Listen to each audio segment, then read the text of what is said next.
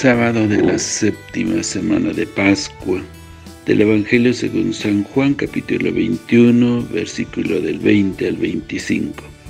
En aquel tiempo Jesús dijo a Pedro, sígueme. Pedro, volviendo la cara, vio que iba detrás de ellos el discípulo a quien Jesús amaba, el mismo que en la cena se había reclinado sobre su pecho y le había preguntado, Señor, ¿quién es el que te va a traicionar? Al verlo, Pedro le dijo a Jesús, Señor, ¿qué va a pasar de este? Jesús le respondió, si yo quiero que éste permanezca vivo hasta que yo vuelva, ¿a ti qué? Tú sígueme. Por eso comenzó a correr entre los hermanos el rumor de que ese discípulo no habría de morir. Pero Jesús no dijo que no moriría, sino si yo quiero que permanezca vivo hasta que yo vuelva, ¿a ti qué? Este es el discípulo que atestigua estas cosas y las ha puesto por escrito y estamos ciertos de que su testimonio es verdadero.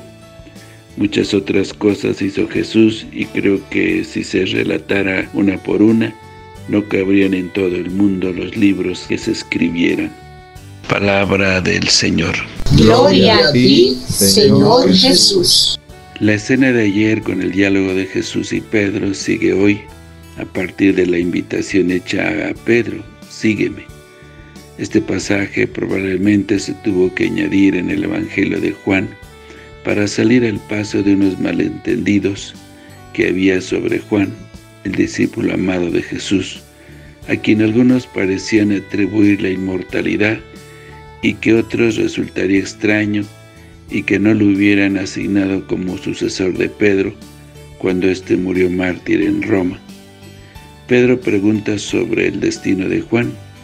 La respuesta de Jesús fue un tanto seca, volviéndole a decir que él lo siguiera, sin preocuparse de Juan, que volviera a aprender a seguir al Señor. La ruta de cada uno es independiente. No hay más modelo que Jesús, ni más camino que el suyo.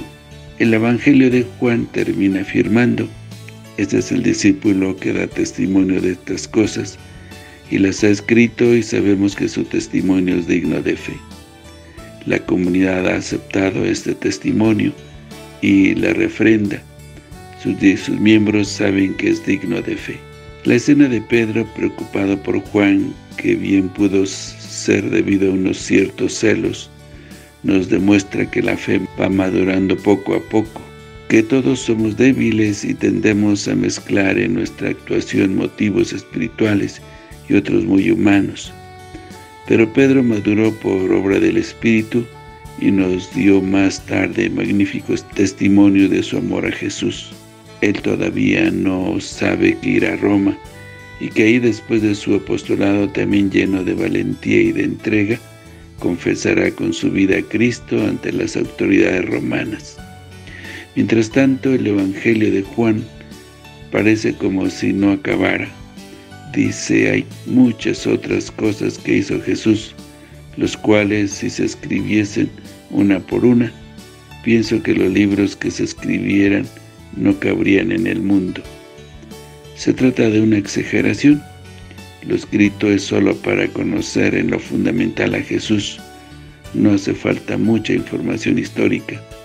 Basta penetrar su significado profundo y seguirlo como lo que hemos celebrado estos siete semanas, y que concluirán con el don mejor del resucitado, su Espíritu. Todos somos llamados a seguir a Jesús, pero el destino de cada uno es diferente. El llamado a seguir a Jesús se realiza de un modo particular en cada cristiano. Somos llamados a seguir a Jesús y somos invitados a compartir con Él su estilo de vida, su manera de relacionarse con Dios y con el mundo. Pero el modo de, responder a estas exigencias es diferente en cada individuo. Pedro ha sido invitado por Jesús al seguimiento, pero ahora el llamado ya no se refiere a la evangelización del mundo, sino a la experiencia de la vida íntima con Jesús. Toda vocación tiene dos vertientes, el llamado a la misión y el llamado a la intimidad con Jesús. Pero el llamado a la misión no tiene sentido sin el llamado a la intimidad y amistad con Jesús.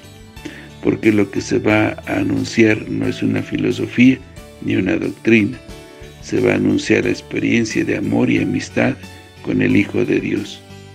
Solo quien ha experimentado el amor de Jesús es capaz de anunciarlo a los demás, porque la finalidad de todo el Evangelio, como dice Juan en su primera conclusión, es que todos crean que Jesús es el Mesías, el Hijo de Dios, y para que creyendo tengan vida en su nombre.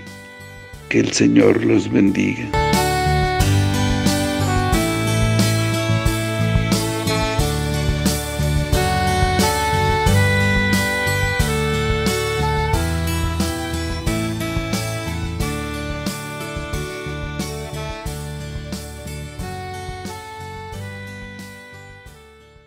La bendición de Dios Todopoderoso, Padre, Hijo y Espíritu Santo, descienda sobre ustedes, que los acompañe siempre.